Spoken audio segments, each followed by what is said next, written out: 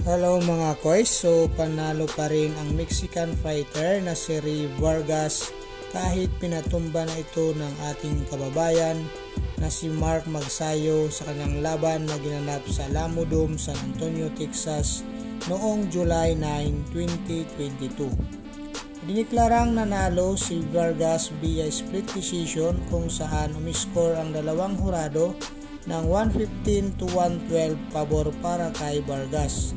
Samantala, ang isang hurado ay umiscore ng 114 to 113 pabor naman para sa ating kababayan na si Magsayo.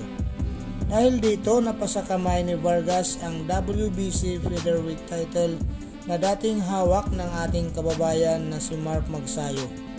Tampok sa video natin ito ang pagkatumba ni Vargas sa ikasyam na round nang magpakawala ng matitinding suntok itong ating kababayan na si Magsayo.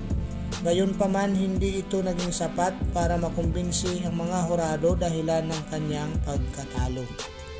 Pagkatapos ng laban ay nanatili ang malinis na record ni Vargas sa 36-0 sa kanyang pro career sa boxing. Samantala, ang ating kababayan na si Mark Magsayo naman ay nakatikim ng una niyang pagkatalo sa kanyang boxing career na mayroong 24 wins, 1 loss 16 dito ay tinapos niya via chaos.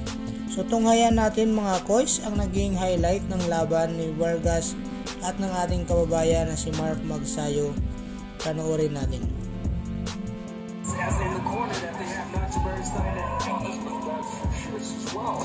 First round so far don't feel off much. And, and kind of doing what he promised. He said,